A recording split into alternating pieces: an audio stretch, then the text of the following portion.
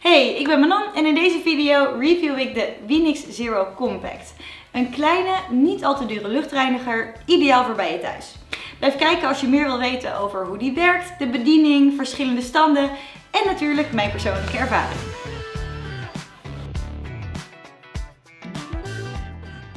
Nu we allemaal veel thuis zitten, wordt de luchtkwaliteit in huis steeds belangrijker. Deze Winix Zero Compact is een instapmodel luchtreiniger. Hij is lekker klein en licht. En volgens de Coolblue test is hij geschikt voor ruimtes tot 50 vierkante meter, dus deze kleine luchtreiniger heeft best wat power. Hij verwijdert bacteriën, allergenen, pollen en gassen uit de lucht en dat doet hij met een voorfilter, HEPA-filter en een koolstoffilter. Daarnaast beschikt hij ook over een plasma wave ionisator die bacteriën neutraliseert. En dan hoor ik je denken, plasma wave ionisator, wat is dat?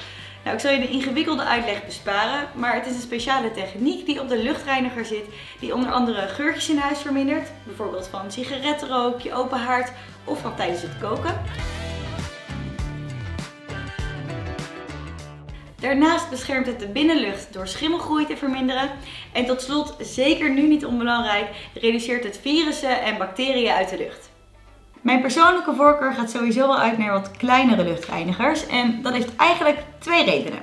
Als eerste omdat ik het fijn vind om hem makkelijk van de ene naar de andere ruimte te kunnen verplaatsen.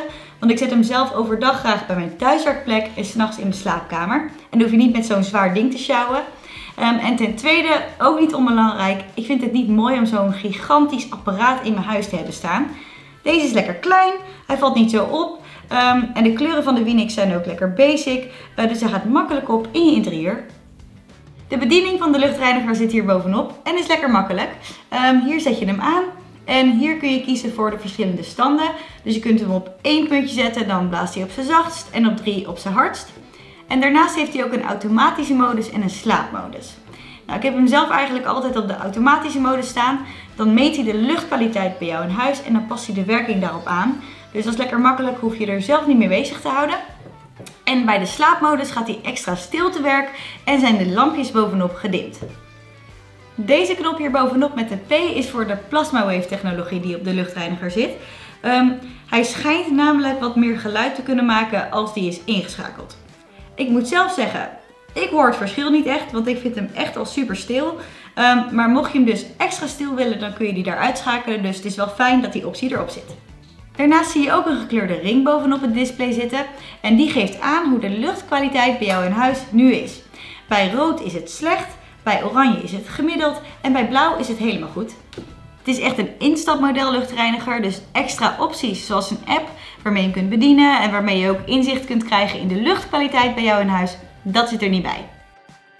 Het filter zit hieronder en die haal je er gemakkelijk uit om hem te reinigen of te vervangen. En gemiddeld moet dat na zo'n 12 maanden meestal, uh, maar geeft ook vanzelf een seintje als het moet gebeuren.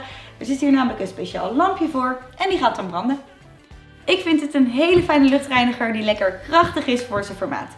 En omdat hij zo klein is, neem je hem ook makkelijk mee van de ene naar de andere ruimte. Hij is lekker stil, um, dus ik ben er heel blij mee. Hij heeft dus alleen geen app waarmee je hem kunt bedienen van een afstand of waarmee je de luchtkwaliteit bij jou in huis kunt monitoren. Maar al met al vind ik het een top luchtreiniger voor zijn prijscategorie. En mocht je nog vragen hebben over de Winix Zero Compact, stel ze dan in de comments onder de video. En dan zie ik je weer in de volgende. Doei doei!